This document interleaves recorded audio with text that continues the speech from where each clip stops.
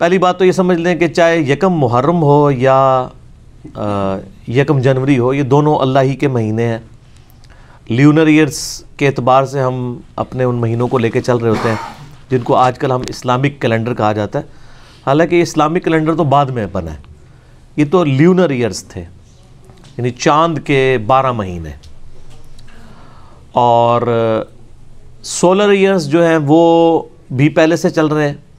जिनको आजकल हम ईसवी कैलेंडर कह देते हैं, ये भी अल्लाह ही के महीने हैं। सूरह अतौबा के अंदर अल्लाह ताला ने वाज फरमाया कि जब से अल्लाह ताला ने ज़मीन व आसमान को तख्लीक किया है, उस वक्त से बारह महीने हैं, उनमें से चार हरमत वाले हैं। वो बुखारी मुस्लिम में है कि वो तीन कॉन्जेक्टिव हैं। नंबर वन ज़िकादा, दूसरा, जुल्हिज्जा, तीसरा, मुहर्रम। और चौथा जो है वो रजब है, वो अलग से है। तो ये बारह महीने हैं, चाहे ईसवी कैलेंडर हो, जिसको हम सोलर कैलेंडर कहते हैं, चाहे वो हिजरी कैलेंडर हो, जिसे हम ल्यूनर कैलेंडर कहते हैं, चाँद के महीने, इसके ऊपर ऑलरेडी मेरे बड़ी डिटेल से गुफ्तु रिकॉर्डेड है, ईसवी कैलेंडर और हिजरी कैलेंडर के अतबार से। जिसे शौक हो तो वो देखे, मैं आज उसको डिस्कस नहीं करूँगा। तो ये टेक्स्ट मैसेज कोई भेज देता है या किसी को मुबारकबाद भेज देता है तो ये कोई दीन का मसला नहीं है कि इसे बिदत की कैटेगरी में फॉल करवाया जाए। हैप्पी न्यू ईयर हो या कोई बर्थडे मना देता है तो ये दीनी एक्टिविटी नहीं है। इस्लाम में जो दीनी एक्टिविटी है ना, उसमें कोई चीज़ दाखिल करना ये बिदत की कैटेगरी में फॉल करता है। या किसी गैर मुस्लिम की दीनी एक्टिविटी के साथ रिजेमलस करना, वो हराम की कैटेगरी में फॉल करता है। जिस तरह के क्रिसमस है या होली है या दिवाली है, इसको मनाना ये स्पेसिफिकली यानी दीनी एक्टिविटीज़ हैं। और इन्हीं पे वो हदीस फिट होगी जो सुन नबी दाऊद के अंदर मौजूद है कि नबी सल्लल्लाहु अलैहि वसल्लम ने फरमाया, मन तशब्बह बेकौमिन फ़ाहुआ मिन हम जिसने जिस कौम की मुशाबियत इख्तियार की रिजेमलेंस इख्तियार की, वो उन्हीं में से शुमार किया जाएगा। तो वो मजहबी एक्टिविटीज़ में मुशाबियत है। अब ये बर्थडे मनाना या हैप्पी न्यू ईयर का मैसेज करना, ये कोई मजहबी एक्टिविटी नहीं है। ये दुनियावी एतबार से इवन कोई जुम्मतुल मुबारक भी कह देता है वो सऊदीया के मौलवी ज़रा इस मामले में सख्त हैं। उनको समझ ही नहीं आई कि बिदत की डेफिनेशन ही कुछ और है।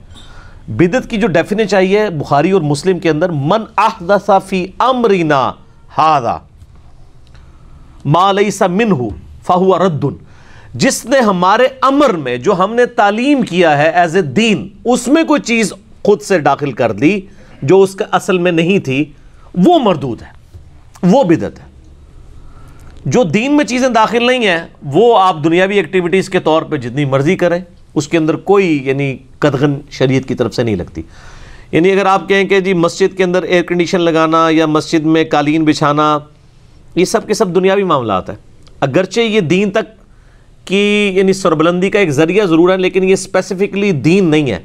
यानी कोई शख्स ये नहीं कहता कि जी नमाज़ पढ़ते वो नियत करे कि जी ऊपर इस कालीन के और नीचे इस पंखे के सामने इस एयर कंडीशन के अल्लाह अकबर, ये तो कोई नहीं कह रहा होता। या आज लोग हज करने के लिए अगर चले जाते हैं एरोप्लेन के अंदर तो वो एक दीन को सपोर्टिव ज़रिया ज़रूर है, लेकिन वो दीन में कोई चीज़ दाखिल नहीं हुई। हज के वही अरकान हैं जो शुरू से चलते आ रहे हैं, उसमें तो कोई फ़र्क नहीं आया। ये दीन में तरीके हैं, और ये जो दीन में तरीके हैं, इनके बारे में सही मुस्लिम के अंदर हदीस मौजूद है। नबी सल्लल्लाहु अलैहि वसल्लम ने इरशाद फरमाया जिसने इस्लाम में कोई अच्छा तरीका जारी किया अच्छा तरीका, अच्छी बिदत नहीं, उसको उसका सवाब मिलेगा और जितने लोग उसके ऊपर अमल करेंगे, उनका सवाब भी उसको मिलेगा। और उनके सवाब में कमी नहीं होगी। और जिसने इस्लाम में बुरा तरीका जारी किया, उसका वबाल उस पर होगा और जितने लोग उस पर अमल करेंगे, उनका वबाल भी कंबाइंड फॉर्म में उस शख्स पे होगा और उनके अपने वबाल में भी कमी नहीं होगी। कि जी हज़रत साहब ही हमारा बोझ उठा लेंगे। नहीं, अपना बोझ अपने साथ रहेगा। ये जो हैप्पी न्यू ईयर है, ये दीन के अंदर कोई एक्टिविटी नहीं है। अगर किसी को टेक्स्ट कर देता है तो एक दुनियावी एक्टिविटी है मुबारकबाद के तौर पर ठीक है? और फिर ये कहना जी, ईस्वी कैलेंडर जो है, ये काफरों का है, और फिर वो पता नहीं क्या कुछ उन्होंने बनाया, वो कहते हैं, देखें जी, हम ए डी बोलते हैं। अब ये कौन सा चल रहा है इस वक्त? आज है तीस दिसंबर 2018 यानी two zero one eight, two thousand eighteen A और वो कहते हैं, ये देखें जी ए का तो मतलब है आफ्टर डेथ तो ईसा इस्लाम की डेथ के बाद। हालाँकि इनको पता ही नहीं है कि एडी का मतलब आफ्टर डेथ है ही नहीं है ये खुद से बनाया आपने। बी सी बिफोर क्राइस्ट वो तो है। एडी आफ्टर डेथ नहीं है। ये आफ्टर क्राइस्ट होता ना ए सी होता। ये है लेटन वर्ड है एनो एनोडोमिनी एनोडोमिनी का मतलब है ईयर ऑफ़ द लॉर्ड यानी हमारे आका की पैदाइश का साल। यानी क्रिश्चियन इसको मनाते थे इस हवाले से कि यह हमारे आका की पैदाइश का साल है। ईसा इस्लाम जो ज़िंदा आसमानों पे उठाए गए हैं या उनके नज़दीक असैसिनेट किए गए हैं, वो 33 ईस्वी में किए गए हैं। 25 दिसंबर की तो पैदाइश है। वो साल जो था ना, जिस साल वो पैदा हुए थे, वो है year of the Lord, anno domini. और उठाए गए हैं वो 33 ईस्वी में। 33 ईयर्स ईयर्स जब हुए थे ईस्वी के उसमें। तो ये एनोडोमिनी है। अब तो इसको भी चेंज करके इन्होंने कर दिया है सीई e। आप अगर देखें ना अभी नेट पे गूगल पे देखें तो 2018 सीई 2019 सीई आएगा। सीई का मतलब है कॉमन ईरा यानी जो मशहूर ज़माना है। यानी नबियों का कंसेप्ट इन्होंने खारिज कर दिया है जानबूझ के। इसलिए मैं कहता हूँ मुसलमानों को तो एडी का वर्ड यूज़ करना चाहिए। क्योंकि इस्लाम भी तो हमारे हैं।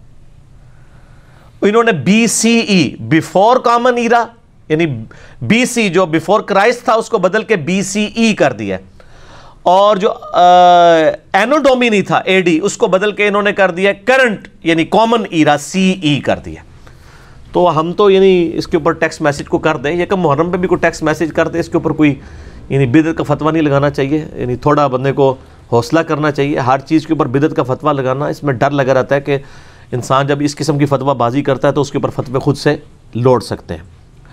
अच्छा इसके अलावा ये भी याद रखिएगा कि ये जो हैप्पी न्यू ईयर के ऊपर जो एक्टिविटीज़ परफॉर्म हो रही होती है ना, हम उसको कतन सपोर्ट नहीं कर रहे कि अगर कोई कह जी आतिशबाजी हो रही है, या इसी तरीके से वो जो बेहयाई का तूफ़ान बदतमीज़ी इकतीस दिसंबर की रात को बर्पा किया जाता है, या बर्थडे भी अगर कोई मनाता है, उसमें जो है वो मर्द औरत का इख्तलात होता है, हम कतन इसको मतलब सही नहीं समझते, बिल्कुल गलत है।